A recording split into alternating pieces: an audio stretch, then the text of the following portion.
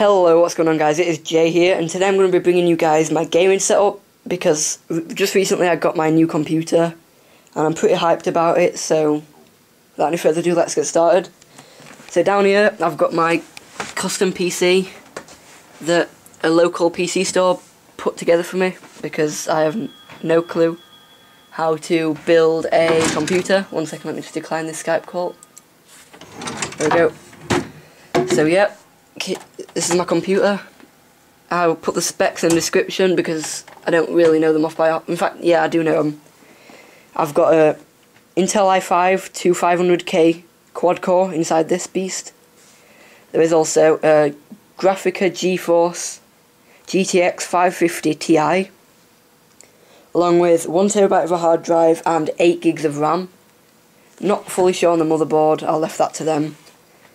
So yeah, sorry about the camera there, that was just me adjusting it in my hand because it was going dodgy. So let's move further up from there. Here I have the Razer Black Widow Ultimate.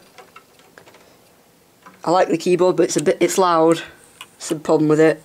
It looks nice in the dark. And here I have the Razer Imperator mouse with the Razer Goliathus or whatever it's called.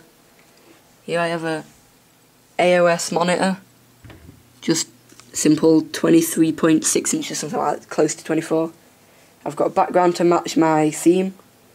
The headset I use is the Astro A40 wired with the mix amp there, which is plugged in through the back into the back of the computer. I have a Yeti mic that I'm not currently using because I can't be asked to wire it up. I've got where I keep my drinks, I've, what I've been drinking all day. Down there I've got the wireless ethernet thing. So yeah, I'll just turn the lights off and... Oh, shit, then I've got an office chair there. I'll turn the lights off and show you it in the dark.